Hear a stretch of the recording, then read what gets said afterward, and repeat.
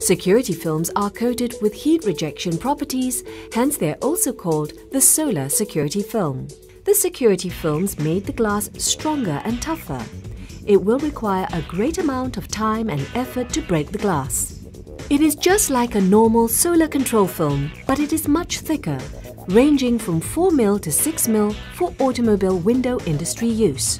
The varying thickness is achieved by mechanically laminating multiple layers of film together with aggressive adhesive coatings. The safety film is attached to the glass with extremely aggressive pressure with sensitive adhesive.